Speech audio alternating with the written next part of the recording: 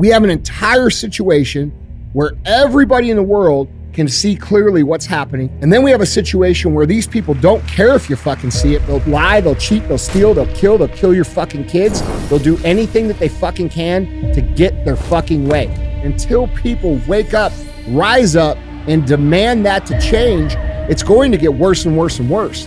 These people have no intention of ever stopping oppressing the citizens of the fucking earth. So the, the question's going to become what the fuck are we going to do about it?